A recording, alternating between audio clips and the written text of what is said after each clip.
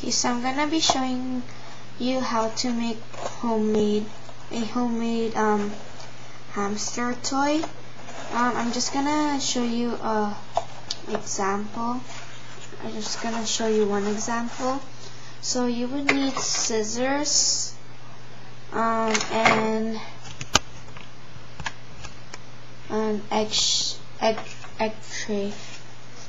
So what you wanna do is like pick how many um, circles you want.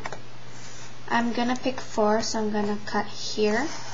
And pen is um, optional. You can just mark where you wanna cut it.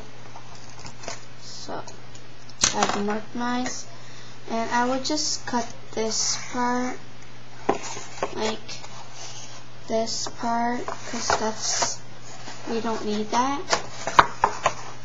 Just gonna cut it out.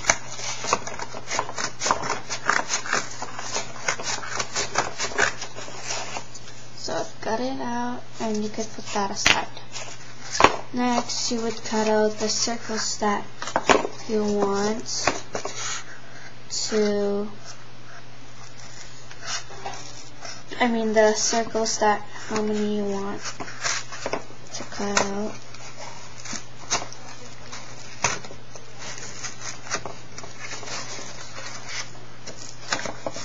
And the top, this top, the lid, you don't need that, so you can cut that out too.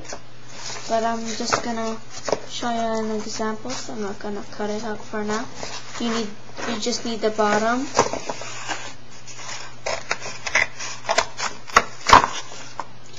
So, that, you can put this aside. And then you've got this bottom left. And that's just a toy. They could like sleep in it. And you, they, you could put, you can actually use this for um, a food bowl. You can use one if you want or two for vegetable and the seeds and stuff and pellets. But I'm just gonna use it for a toy. And you like, you can like design it with construction paper, you can color it, whatever you want.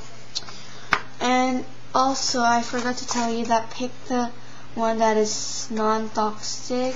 I'm just um, um, showing an example. I'm not really sure if this is toxic or not. So yeah, you can you can like put a little bit of bedding so they can sleep in it.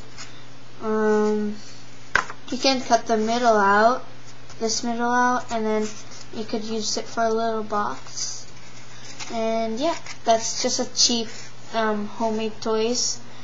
Um, I've, um, I pro I, I'll do a video every um, one week or two weeks. And yeah, so if you don't want, if you like, don't like buying toys for your hamster or you can't find any thing that is right for you, you could just make and be creative. So thanks for watching. I will be making more videos, so stay tuned for that. Thanks for watching. Bye. Subscribe.